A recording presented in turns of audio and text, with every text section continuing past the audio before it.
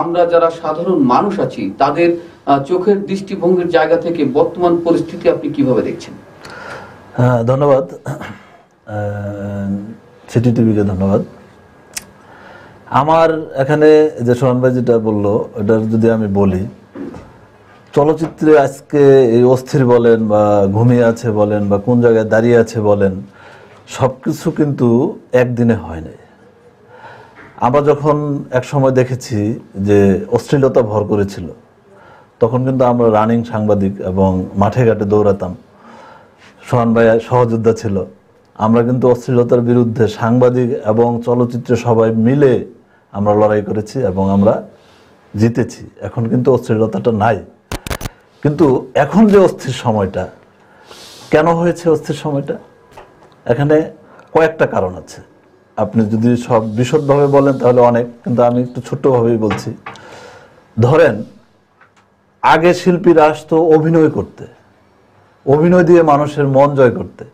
আর এখন শিল্পীরা আসে অভিনয়কে ব্যবহার করার জন্য। আপনার পার্থক্যটা কিন্তু এই জায়গায়। আর একটা জিনিস, ওই যে উনি তেপান্তর সাহেব যেটা বললেন যে মিডিয়া ট্রায়াল এটা মিডিয়া ট্রায়ালও বলবেন না আপনি। এটা হচ্ছে মানে রাতারাতি তারকা হয়ে যাওয়ার একটা প্রবণতা। আমি আমার ভিউজ বেশি হবে আমার ফলোয়ার বেশি হবে আমার আমার জিনিস ভাইরাল হয়ে যাবে আমি নায়িকা হিসাবে ছবি না চলুক কিন্তু তাই? নাকি তারকার পিছনেও আরও কোনো গল্প না আছে? আছে গল্প আছে অবশ্যই। আপনি যখন এই জিনিসগুলোকে আবার ওই যে তার তো উদ্দেশ্য অভিনয় না। তার উদ্দেশ্য হচ্ছে হ্যাঁ, এই জগৎটাকে সে ব্যবহার করবে।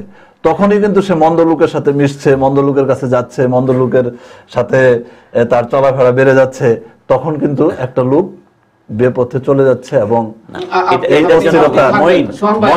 এটার জন্য মিনি আমি একটু বলি মইনের কথাটাই যে এটার জন্য কিন্তু মিডিয়ার দায়ী অনেক না মিডিয়া তো একটা ছেলে মেয়ে আসতে না আসতে তাকে এমন ভাবে উপরে তুলে দেওয়া হয় একেবারে রাতারাতি সুপারস্টার বানিয়ে দেওয়া হয়। না সেই স্টার হলো কি না হলো? এখানে আমি হয়। দায়ী আমি নিজেও মেনে নিচ্ছি দায়ী।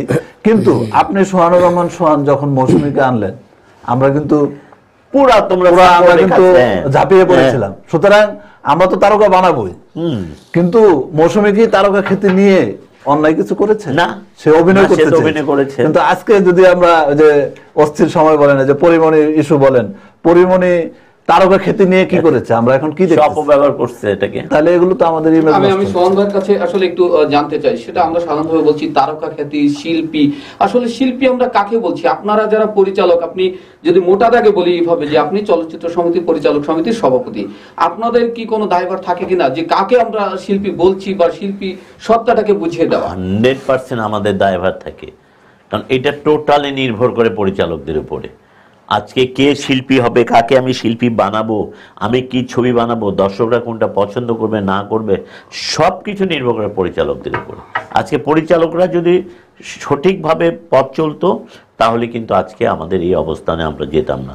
এই যে অশ্লীল ছবি নির্মাণ করছে কারা? সেখানেও তো কিছু পরিচালক ইনভলভ ছিল। আজকে ভিডিও পাইরেসি এই পাইরেসি আমাদেরকে শেষ করে দিছে। সব কিছু মিলিয়েই ভিডিও পাইরেসি হওয়ার কারণে কি হলো? যারা ফাইন্যান্স করতো তারা ব্যাক করে চলে গেল, কারণ যে টাকা লগ্নি করে কেউ চায় না যে তার পকেটের, পকেটটা খালি হয়ে যাক। যেমন অশ্লীল ছবি বানানোর সময় সেটাই হয়েছে যে অশ্লীলতার জন্য দর্শক আসা বন্ধ করে দিচ্ছে। এই করতে করতে আজকে এই অবস্থাতে চলে এসেছি আমরা। এখন আমরা কাদেরকে শিল্পী বানাচ্ছি? এখন হচ্ছে কেউ শিল্পী না কিন্তু। এখন দেখা গেছে যে আমরা যেটা পর্যবেক্ষণে পাইছি যে একটা মেয়ে সে একটা তার বয়ফ্রেন্ড জোগাড় করল। বয়ফ্রেন্ড হয়তো কিছু টাকা পয়সা আছে, ভালো একটা টাকা পয়সা আছে। সে সেটাকে করল কি, বলল যে আমাকে একটা হিরোইন বানায় দাও, আমাকে নিয়ে ছবি করো।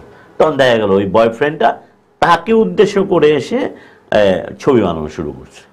এবং সে- সেটা করাতে কি হচ্ছে, সে কিছু মিডিয়াতে কিছু খরচ টরচ করে, কিছু লোকজনকে একটু সেভাবে আপ্যায়িত করে, সে কিন্তু তার একটা তারকা খ্যাতি নেওয়ার চেষ্টা করছে। কিন্তু সে তো আসলে তারকা খ্যাতি পাবে না।